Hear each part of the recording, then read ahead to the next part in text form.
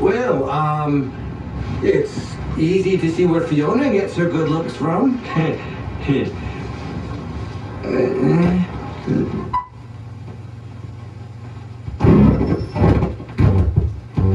The king offered me Martin Colony have a little brother. Whoa, whoa, whoa, whoa, whoa, whoa, whoa. Fiona's father paid you to do this? The Rich King? See.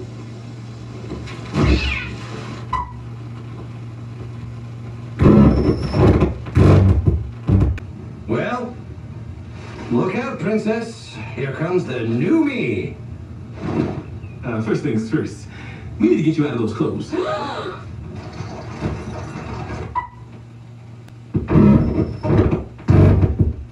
Well, sure, he's down on Drury Lane. Why? Because we're gonna need flour. Lots and lots of flour.